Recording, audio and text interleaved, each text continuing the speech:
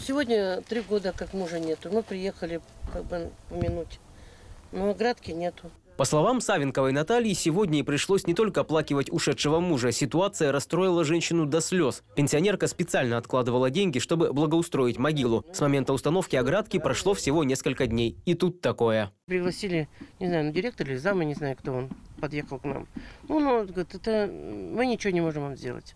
И помочь ничем они нам не могут. То есть вот так он нам ответил. Ваша собственность, вы охраняйте ее. Ну это как понимать, это что, надо ночевать что ли здесь? Рядом еще одна могила. Здесь родственники усопшего тоже вынуждены в очередной раз устанавливать оградку и столик. Леонид Качан рассказывает, за последний месяц уже третий раз восстанавливает могилу брата. Теперь неизвестные даже выломали надгробную плиту. Ремонт влетит в копеечку. Леонид уверен, неизвестные проложили свою дорогу на окраину кладбища и теперь орудуют здесь, никого не боясь. Вот на днях я говорил два дня назад, я говорю, там сломали забор. Он давно, я говорю, я видел, он недавно сломанный, вот. Мы- потому что я тут езжу уже сколько раз, и говорю, он был целый. Все. Ну, вроде сделаем, сделаем. Ну, не знаю, делали или нет, но не видать, что не делали. Не видать, что не делали. Как он стоял открытый, выломанный, так и стоит.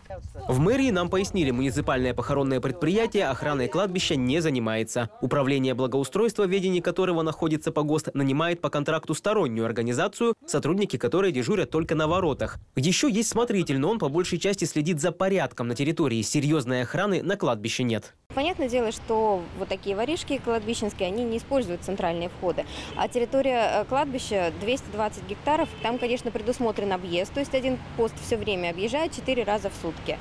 Но это огромная территория, и понятное дело, что в нескольких местах разом там не окажешься, и, ну, в общем, они, конечно, выбирают такие моменты, когда охраны рядом нет.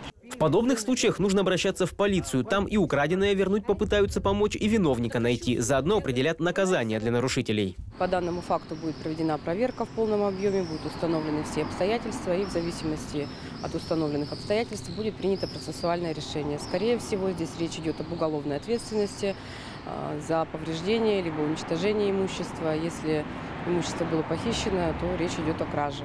Предприниматели, которые уже давно в ритуальном бизнесе, уверены, все это часть коммерческой схемы. Нечестные на руку дельцы пытаются по нескольку раз заработать на похоронах одного человека. Благоустройство одного места захоронения родственникам усопшего обойдется минимум в 10 тысяч рублей. 3 тысячи придется отдать за самую простую надгробную плиту, еще где-то полторы за ее установку. По столько же за лавочку и столик. И 650 рублей за погонный метр оградки. Но не все хотят платить даже такие суммы. Как нам рассказали в одном из похоронных сервисов, правда, не на камеру, некоторые люди обращаются к разнорабочим, которые дают меньшую цену. И уже именно они крадут заборчики, лавочки и столики для того, чтобы поставить их у других могил. А в итоге за все платить все равно приходится честным людям. Сергей Сеславин, Алексей Гусев, Енисей. Новости.